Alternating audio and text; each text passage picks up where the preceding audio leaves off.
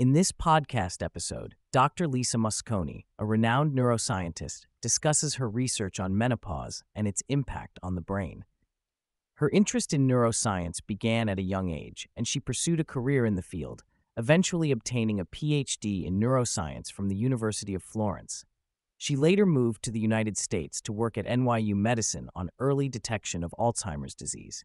Dr. Mosconi's research focuses on the impact of menopause on the brain she found that there was a lack of brain imaging studies on menopause, prompting her to conduct her own research. Her studies revealed that women's brains age differently from men's brains, with hormonal fluctuations during menopause affecting brain health.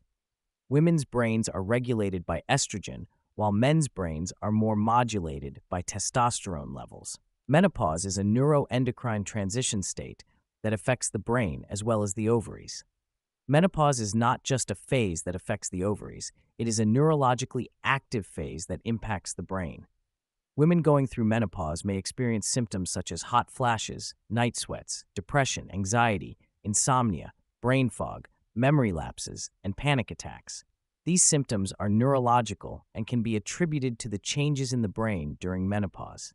Menopause is a process, not an on off switch, and its onset and experience can vary widely among women. Dr. Mosconi discusses the concept of bikini medicine, where women's health is often reduced to reproductive organs and not considered holistically. Gender bias in healthcare has led to a lack of understanding of sex differences in health outcomes. Women are more likely to experience certain brain conditions, autoimmune disorders, headaches, migraines, and strokes compared to men.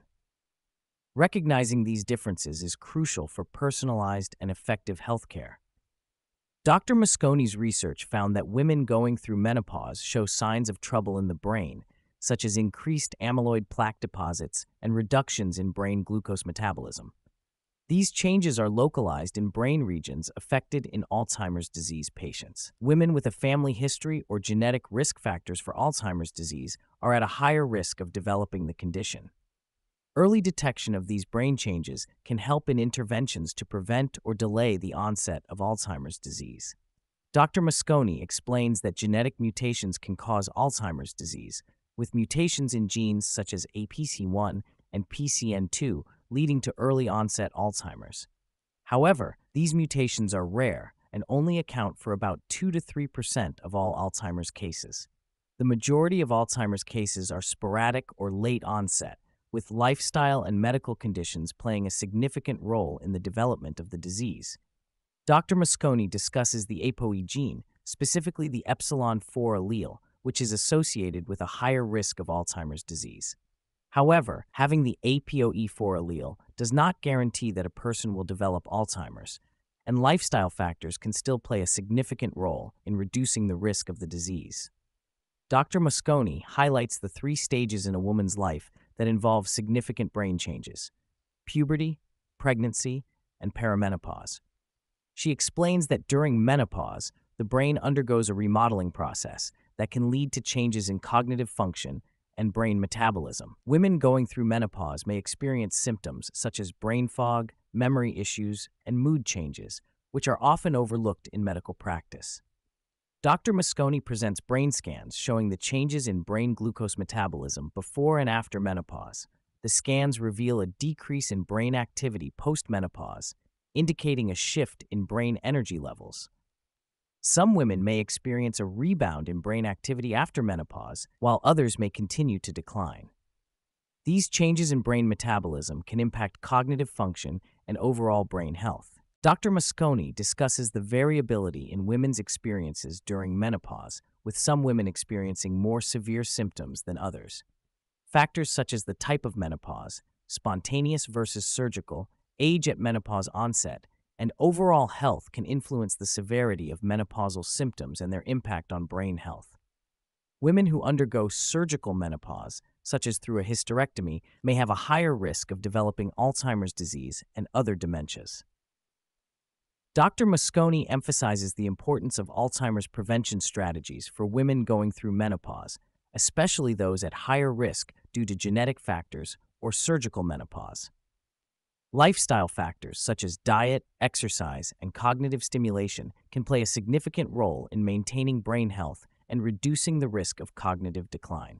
Regular brain scans and monitoring can help track changes in brain metabolism and identify potential risk factors for Alzheimer's disease. Dr. Mosconi advocates for a Mediterranean style diet with a focus on plant based foods, particularly dark leafy greens, fruits, nuts, and seeds. These foods are rich in antioxidants, which help combat oxidative stress in the brain. Antioxidants are essential for brain health, as the brain is highly metabolically active and susceptible to damage from free radicals. Consuming a variety of antioxidant rich foods can support brain function and energy levels. While supplementation can be beneficial for individuals with specific nutrient deficiencies, Dr. Mosconi emphasizes that supplements should not replace a healthy diet. It is essential to prioritize nutrient dense foods over relying solely on supplements. Common deficiencies in menopausal women may include calcium and vitamin D for bone health. However, more research is needed to understand the connection between nutrient deficiencies and Alzheimer's disease in menopausal women. The gut microbiome plays a crucial role in hormone regulation and overall health. Fiber rich plant foods support the estrobolome, a community of bacteria involved in estrogen metabolism. Consuming a diverse range of plant based foods, especially those high in oligosaccharides, can promote hormonal balance and support gut brain communication. The microbiome influences various bodily functions, including cravings and mood, highlighting the interconnectedness of the gut and brain. Dr. Mosconi highlights the benefits of moderate intensity exercise for women in menopause, citing studies that show a reduction in the risk of cardiovascular conditions, diabetes, and obesity. She explains that moderate intensity exercise is more sustainable for women in this age group compared to high intensity workouts. Consistency in exercise is key for brain health, as quick fixes do not work due to the brain's stability. The discussion shifts to the controversial topic of hormone replacement therapy. Dr. Mosconi explains that estrogen plays a crucial role in women's brain health and that hormone replacement therapy can have both positive and negative effects depending on timing and the type of hormones used. She emphasizes the importance of starting HRT during menopause and using bioidentical hormones to reduce the risk of Alzheimer's disease. Dr. Mosconi introduces phytoestrogens, a plant derived form of estrogen that is designed to target the brain's estrogen receptors while minimizing effects on reproductive tissues. She discusses ongoing research on phytoestrogens and their potential benefits for brain health in menopausal women. In addition to hormone replacement therapy, Dr. Mosconi mentions antidepressants as a potential option for managing menopausal symptoms, particularly hot flashes. She also discusses the role of testosterone in addressing low libido and supplements as complementary approaches to support brain health during menopause. Dr. Mosconi emphasizes that sleep is crucial for brain health as it allows the brain to take care of itself by flushing out toxins and waste products during deep sleep. This process, known as the glymphatic system, is like a dishwasher for the brain, helping to remove harmful substances like Alzheimer's plaques. She highlights the negative effects of fragmented sleep which can lead to an increased risk of cognitive decline and other health issues. Dr. Mosconi also addresses the impact of menopause on sleep, noting that many women experience disrupted sleep during this time. Hormonal changes during menopause can affect sleep quality, leading to issues like insomnia and frequent awakenings. She stresses the importance of managing stress, avoiding stimulants like caffeine and alcohol, and staying physically active to improve sleep during menopause. To get a clearer picture of their health and brain function, Dr. Mosconi recommends undergoing blood work to assess metabolic markers, thyroid function, iron levels, and B12 levels.